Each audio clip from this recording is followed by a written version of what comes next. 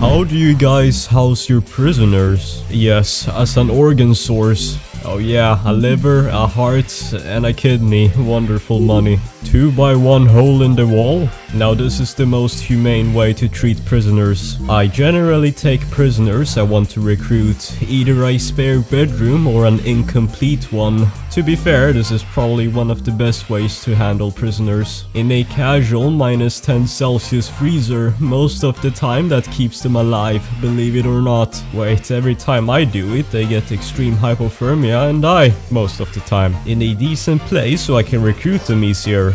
Typically, if they suck and aren't worth recruiting, then it's lights out. I hope you mean turning off the light in the room. I treat my slaves like my colonists tell you the truth, more of a serf, enslaved to the land but not really treated lower. They do have less quality of life and whatever happens around them, but I treat them well. Wait, what?